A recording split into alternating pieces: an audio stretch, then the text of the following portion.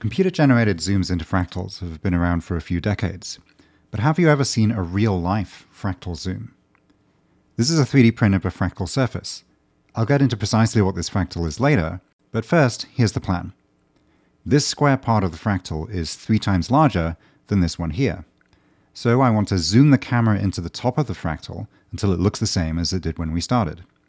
Then I can make a looping video that zooms in forever to get a real-life fractal zoom.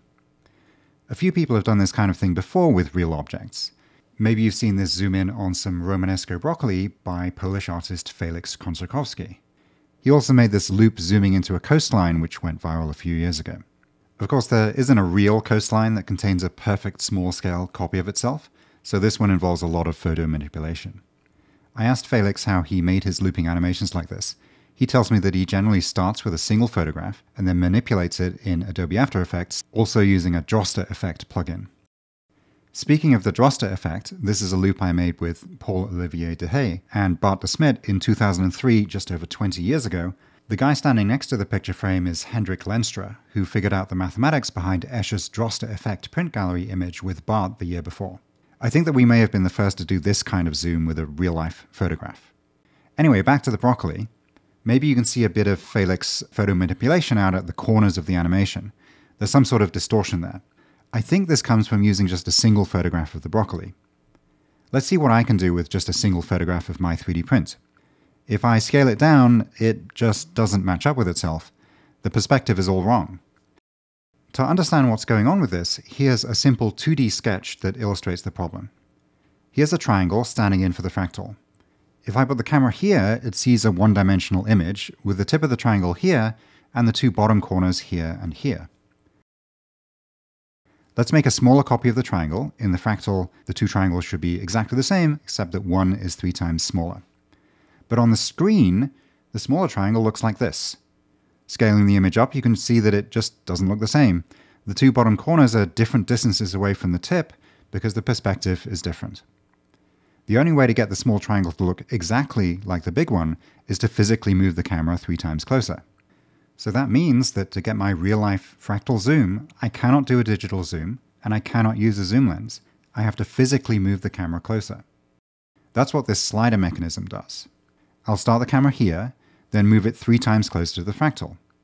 This is pretty far in. In fact, the main reason I'm using this lens on my camera is that it's short enough that it doesn't crash into the fractal with how close I need it to get. The view the camera sees at the end matches up pretty well with the view it had at the start. Let's put this together into a loop, and I'll speed up the movement a bit, and it's not bad. But the stopping and starting isn't great. It would be better if the view kept zooming in the whole time. We can try to fix that by having the slider get up to speed a bit before the start position, then continue on past the end position before stopping. Let's loop that video and again speed the movement up. Again, the fractal matches up okay with itself, but the zoom speed doesn't. This also means that I cannot fade nicely from the end of the video back to the start. To get this to work properly, I need the movement to slow down exponentially. I need to be moving three times slower when I get to the end in comparison to the speed at the start. I'll spare you the details of fighting with the software to get the slider to do this and just show you the result. Now the camera moves in at the correct speed, slowing down as it gets near the 3D print, and I can gradually fade between the close and the far views, so we're in business. There is a bit of irony about this kind of project. The better I do at making this shot as precise as possible, the more that my real-life fractal zoom looks like a computer-generated render.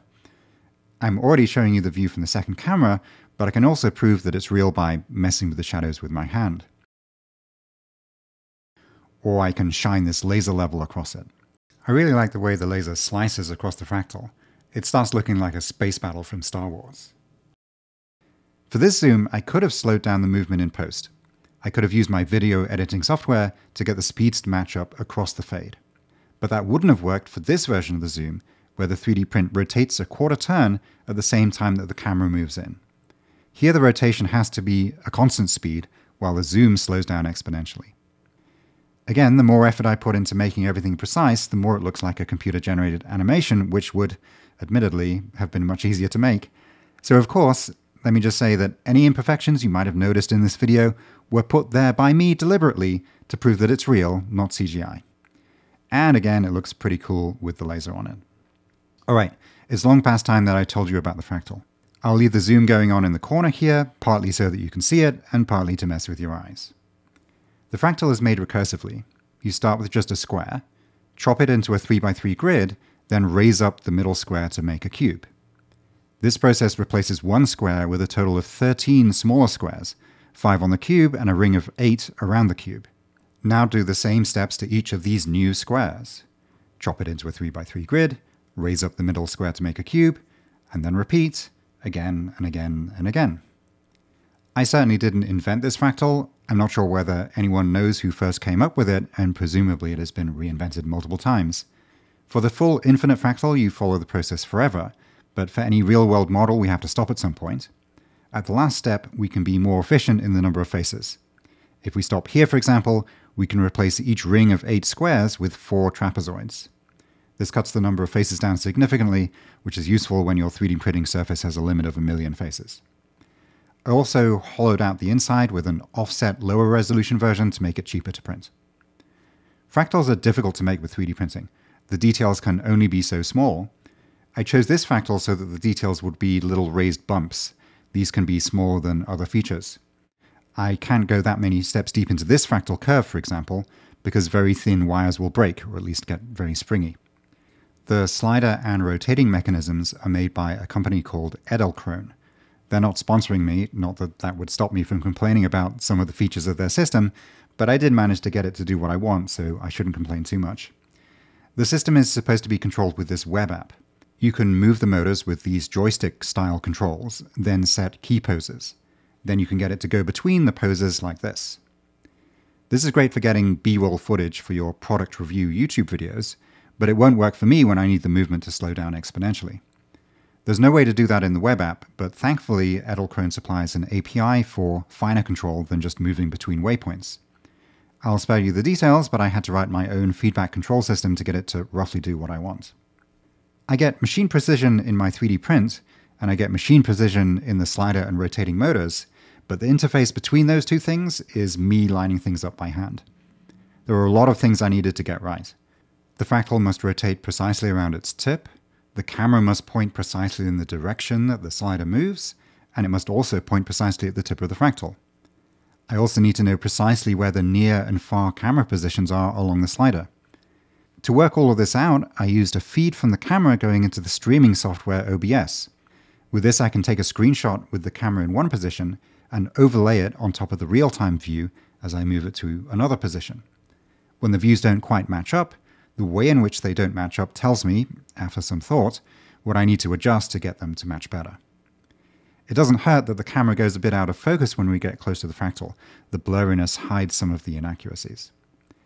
Even with all of that, I still found that I could make some of the loops match a little better with a tiny bit of rotation and scaling in post. This was not my first attempt to get footage for this video. Can you see the problem I had with this setup? Well, yes, I discovered hours into one recording session that the reason it was so hard to line things up was that the weight of the camera flexed the rod holding up the slider. In the final setup I used, I switched to this two-point support system using this, the cutest clamp of all time. Alright, finally here's one more loop with the laser.